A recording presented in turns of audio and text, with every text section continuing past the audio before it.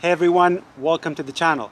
We all know the importance of a good set of wheels on our mountain bike, but when you're riding a lighter bike like a road, cross, gravel bike, it's even more important to have a quality, light set of wheels. And when I built my versatile Trek Crockett, I talked about these C1800 DT Swiss wheels as being a very good budget set of wheels that will help you build something like this. But just like everybody else, as soon as I built it, I started thinking about an upgraded wheel set. So let's take a look at what I ended up with. And because for my mountain bike I had a very good experience with the Elite wheels, I reached out to them and they sent me a set of their new G45 wheels. They are part of their Drive series of wheel sets and they're pretty special because the spokes they use are made out of carbon. And that makes these the first gravel wheel sets with carbon spokes that are supposed to give you better power transfer, more comfort overall, not to mention the weight of this wheel set.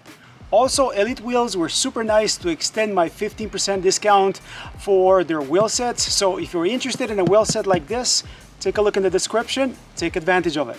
These are shipped in a branded Elite Wheels box, even nicer than what you get for your mountain bike wheels. The little baggies with what's called extra parts and obviously the wheels. And I'm pretty sure the name of this wheel set G45 comes from the rim profile. This is a 45 millimeter height rim profile. Internally you have 24 millimeters. Externally this is 31. As you can see it comes pre-taped, it's tubeless ready and you also have the tubeless valves installed. This little sticker tells you that the hubs use ceramic bearings, more about that later. Also the ERD of these rims, maximum weight for the wheels which is 130 kilograms and on the other side you're gonna see the recommended tire width from 25C to 43C. Remember this is a 24 millimeter ID rim.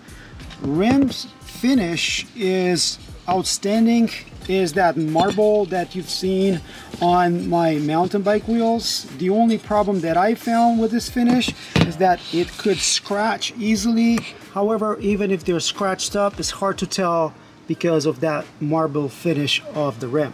Otherwise, it looks really, really nice. As for the drive branding here for the series, this is the silver. They also have an option in black. Also the rim finish, I am pretty sure they would offer different finishes if you are not in love with the marble.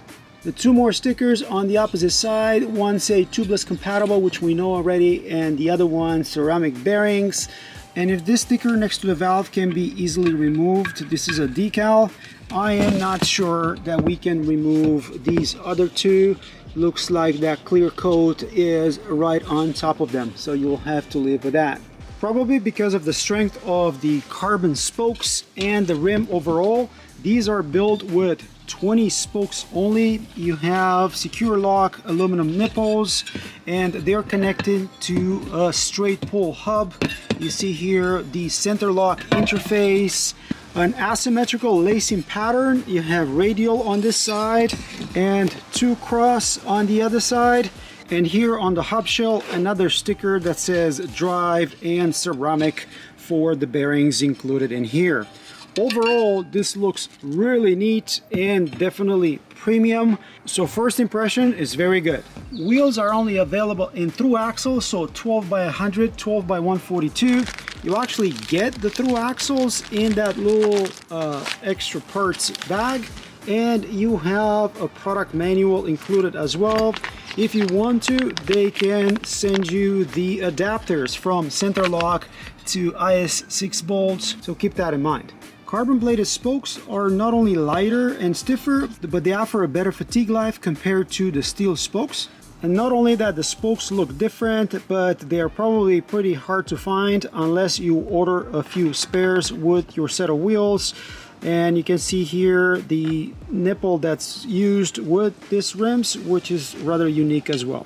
And pretty much everything I said about the front wheel, including 20 spokes, applies to the rear wheel.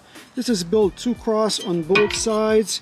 You can see that sticker here on the hub shell and you can see the 1011 Shimano Freehub body that is nicely colored in purple.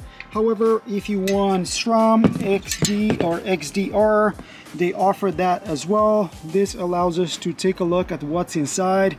This is a four pawl Freehub body and you can easily install or remove with two 17 millimeter uh, flat wrenches. You see the flat spots here on the end caps and the thread inside. I also assume that these use the same ceramic bearings made by NBK. You get 36 teeth here on the Freehub, so that gives you 10 degrees of engagement. As for the sound of this hub, this is pretty loud. I want to cover your ears now.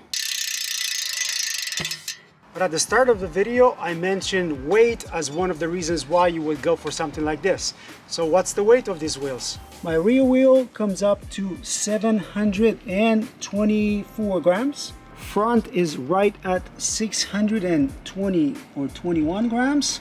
And together, the wheel set comes up to 1342 grams. These are specified as 1300 plus or minus 30 grams. That's not too bad for a 45 millimeter depth rim wheel set. The name G45 suggests that these wheels are made for gravel. Maybe that's because gravel is the buzzword of today. But realistically speaking, you can use these for road, cross, gravel, anything in between. In my case, I am planning to take advantage of that 24 millimeter ID. So I'm gonna run these Vittoria Terreno Dry tires that are outstanding. These are gonna be 38s that actually fit my Trek Crockett, believe it or not. But overall, I'm looking forward to take advantage of that lighter wheel set and I can't wait to actually put a couple of rides on these wheels.